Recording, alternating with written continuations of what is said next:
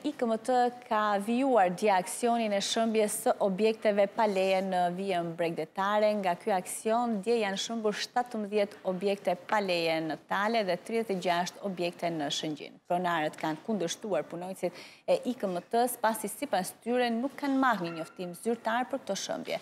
Pak ditë më parë, kryebashkiaku i Lezhës, Pjerin Ndreu e cilësoi vendimin si abuziv, pasi sipas tij po veprohet duke sfumuar kompetencat e autoriteteve vendore.